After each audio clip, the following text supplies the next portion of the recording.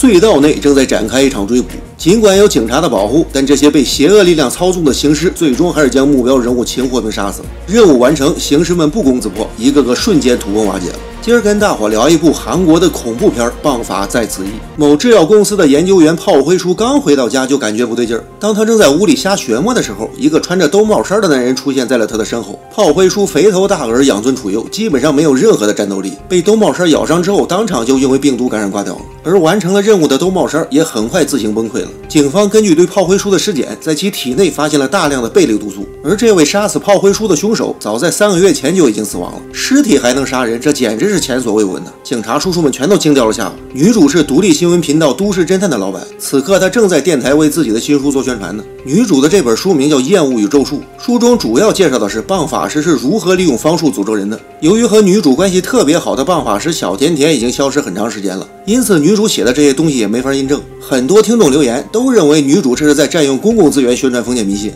这时候有一位热心听众打来了热线电话。说头天晚上炮灰叔被杀的事儿是他干，他希望第二天的下午两点和女主来一次面对面的直播采访。女主回到单位，见到了新招来的实习生眼镜妹。下属把炮灰叔被杀的资料交给了女主。女主看完之后也吓了一跳。根据她的经验，尸体杀手身上的纹身应该是施咒用的。女主的老公是广域搜查队的组长，虽然腿脚不太利索，但气质这一块拿捏的挺好。女主的老公希望她不要做第二天的专访，搞不好很可能会招来杀身之祸。但女主大风大浪见得多了，根本就不在乎。这时候下属又给女主看了一段视频，是棒法师小甜甜在日本做法的画面。小甜甜目前在什么地方，谁都不知道。如果小甜甜能够出现，那女主的新书就不愁卖了。棒法师小甜甜是巫婆的女儿，她只要能拿到某人的照片、汉字姓名和随身物品，就能利用诅咒杀死对方。女主和小甜甜曾合作过很多年，期间利用诅咒干掉了不少罪大恶极的家伙。第二天下午两点，女主的团队准备就绪，等待着那位自称是凶手的男人的到来。而女主的老公带着手下也在四周埋伏好了。很快，一个头戴渔夫帽的中年男人走进了酒店。中年男人直接走进直播现场，说自己就是操纵尸体杀害炮灰叔的幕后黑手，并说自己还会再接再厉，在接下来的六天里陆续干掉制药公司的三位高管、金理事李庄务和制药公司的会长。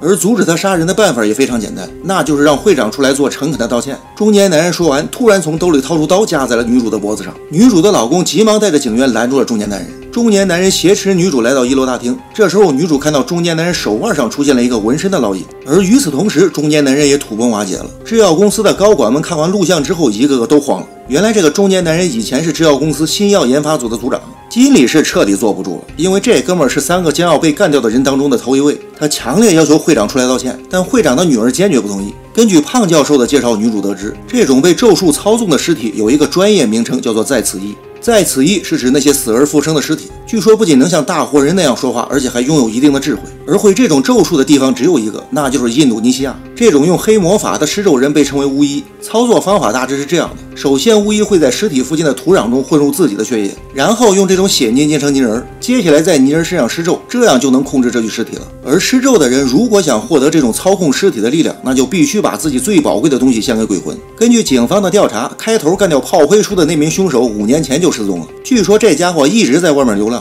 两年前曾加入了一个神秘的组织，这个神秘组织会搜集大量流浪汉的个人信息，然后倒卖给一些图谋不轨的客户。而这个神秘组织的老大因为非法经营赌场，目前正在监狱里服刑呢。女主晚上回到单位，发现实习生眼镜妹神神秘秘的，不知道在搞什么猫腻。眼镜妹向女主打听棒法师小甜甜的情况，也搞不懂她到底有什么企图。女主的下属来到监狱，见到了那个神秘组织的老大。根据老大提供的情况，下属得知，原来制药公司为了测试新药的疗效，曾花高价让这位神秘组织的老大招募无亲无故的流浪汉。后来由于人数不够，这位老大又弄了一些非法移民凑数，最终为制药公司提供了一百名测试者。但由于新药的副作用，最后这一百个人全都死掉了。按照那位中年男人的说法，他将在六天内干掉制药公司的三名高管。现在第一位高管金理事的死期已经到了，警方派出了大批的人手严阵以待。金理事如热锅上的蚂蚁，坐立不安的。虽然警方出动了特工队，但他依然没有安全感。很快，大批被操控的行尸乌泱乌泱的杀到，这帮家伙的战斗力超强，而且还刀枪不入，把这些警察揍的是稀里哗啦。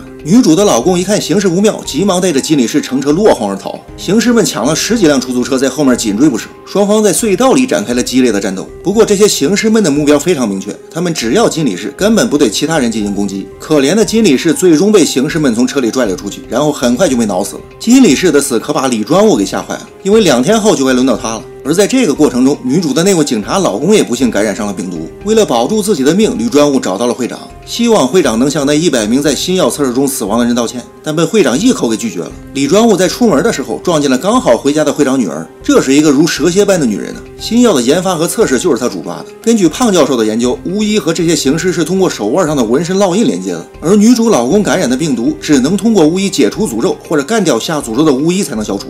通过神秘组织的老大提供的情况，女主等人得知，在一百名测试者死后不久，有一位东南亚的男人来找过她，说自己的一位亲人曾在制药公司兼职，后来就再也联系不上了。而这个男人就是那位操纵形势的巫医。很明显，他的一位亲人在新药测试中死掉了，因此他才展开报复。现在的问题是，必须找到那一百名测试者的资料，这样才能筛选出那个巫医到底是谁。制药公司的李专务为了活命，主动找到了女主。他把公司研发新药的目的说了出来。原来这次的新药研发项目是替美国人搞的，主要就是生产用于化学武器原料的贝类毒素。而他们早就知道这一百人肯定会在这次实验中死掉，因此才会找一些无亲无故的人。女主等人在李专务提供的流浪汉的资料里，并未找到有价值的线索。接下来，女主和下属分兵两路：一拨人去制药公司的研究所找巫医，另一路人马去非法移民管理所查资料。女主带着警察小王来到了已经废弃的研究所。女主推开一扇门，看到对面墙上画着一种奇怪的符号。而就在这个时候，附近传来了奇怪的动静。两人拿着手电筒正瞎学摸的时候，几个行尸突然冲了过来，